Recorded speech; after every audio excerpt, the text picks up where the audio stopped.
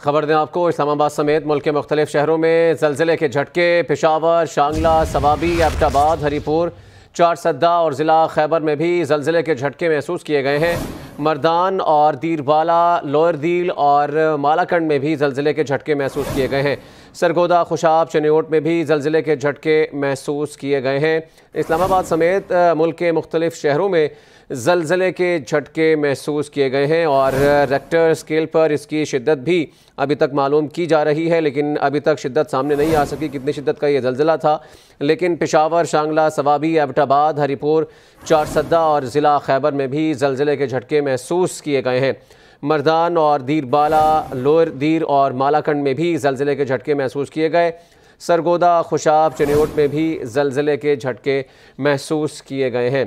तो इस्लामाबाद समेत मुल्क के मुख्तलिफ़ शहरों में जलजिले के झटके महसूस किए गए हैं और जब भी ये जलजिला महसूस होता है और लोग खौफ में मुबतला हो जाते हैं, घरों में ऑफ़िस में, जहाँ भी होते हैं, बाहर निकल आते हैं और कलमा तयबा का विरद भी करते हैं।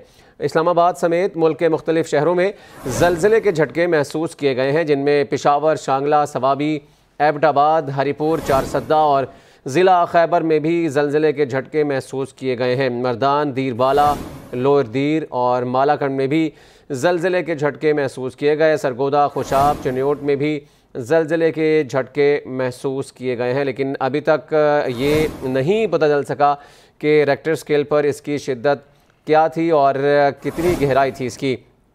इस्लामाबाद समेत मुल्क के मुख्तलिफ़ शहरों में जलजिले के झटके महसूस किए गए हैं और पिशावर, शांगला, सवाबी एबटाबाद हरिपुर, चारसद्दा ज़िला खैबर में भी जलजिले के झटके महसूस किए गए हैं। मरदान, दीरबाला, लोअर दीर और मालाखंड में भी जलजिले के झटके महसूस किए गए हैं और इसी तरीके से सरगोदा, खुशाब, चनियोट में भी जलजिले के झटके महसूस किए गए हैं। तो खैबर पख्तनख्वा के कुछ इलाके हैं, पंजाब के कुछ इलाके हैं, जहाँ पर ये जलजिले के झटके महसूस किए गए हैं।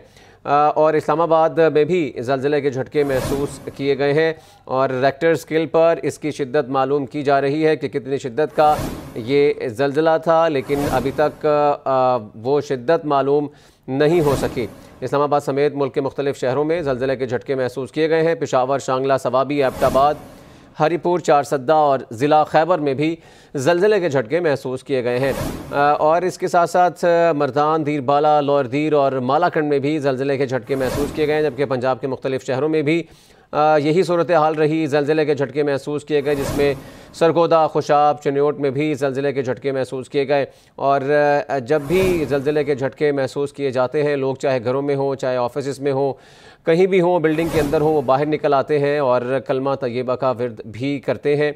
और अल्लाह से तोबा भी करते हैं, दुआ भी मांगते हैं।